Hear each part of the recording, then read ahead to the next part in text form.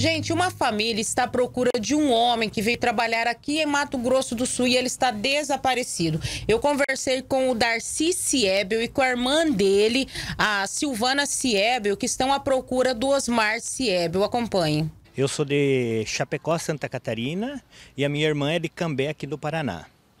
E vocês estão à procura do Osmar? Estamos à procura do Osmar. Ana Cristina, ele desapareceu em começo de fevereiro em Ribas do Rio Pardo, que ele veio para trabalhar numa empresa ali que está fazendo asfalto que liga Ribas do Rio Pardo a Camacuã.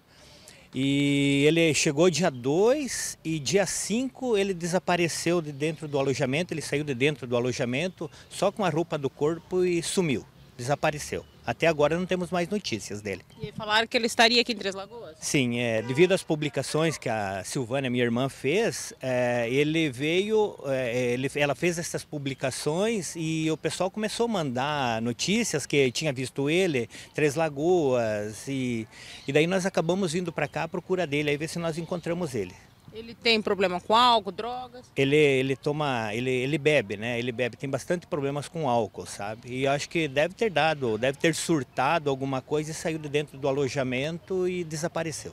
Está aqui em Mato Grosso do Sul desde fevereiro? Nós, exatamente, nós acreditamos que ele esteja na região aqui, né? E como, e como devido às postagens que foi feito, ele, eles, eles, afir, eles afirmaram, falaram que ele estava por aqui, né? E a gente acabou vindo para Três, Lago, Três Lagoas atrás dele. Eu vou conversar aqui com a Silvane, que é irmã do Osmar também, né, Silvana? Você é de onde? Eu sou de Cambé, no Paraná, é o norte do Paraná, né? E a gente está nessa procura já desde fevereiro, então conforme o Darcy falou, é, a gente publicou na, na, na, rede social e tivemos algumas informações, algumas dicas assim, é, mas nada confirmando.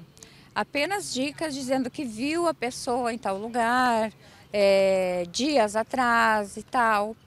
E através desses comentários, então a gente decidiu vir fazer essa busca porque o meu irmão já tinha ido a Ribas, ele ficou uma semana procurando por ele lá, não encontrou nada. E aqui a gente tem esperança de, de achar ele, porque com agora já é uma terceira ou a quarta pessoa que nós conversamos que falou que viu ele ainda hoje, que almoçou junto, na casa da sopa. Então a gente veio com essa intenção de levar ele de volta, né? Para a nossa família e aí começar um, um tratamento né, para o problema que ele tem. Quem puder ajudar vocês, tem um telefone para contato? Sim, podemos deixar. Eu acredito que deixamos o, o telefone do Darcy, pode ser? O o do Darcy. O meu, o meu já está na rede social, é 43 9 9961 8765. Pode ligar. É, assim, a gente está oferecendo uma recompensa para quem nos trouxer alguma comprovação, né? Que é ele, ou uma foto, ou ele, ou um vídeo, alguma coisa, a gente está oferecendo uma recompensa para quem tiver essa prova para nós, né? Importante ajudar a família sofre muito, né? Com certeza, a gente ficou cinco meses numa angústia muito grande, inclusive foi feito até exame de DNA, coleta de material, uh, porque nós achamos que achávamos que ele estava morto.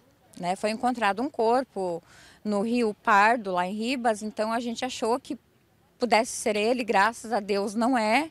E aí, através desse, dessa confirmação de que ele não estaria morto, a gente resolveu então vir para cá e fazer essas buscas, né?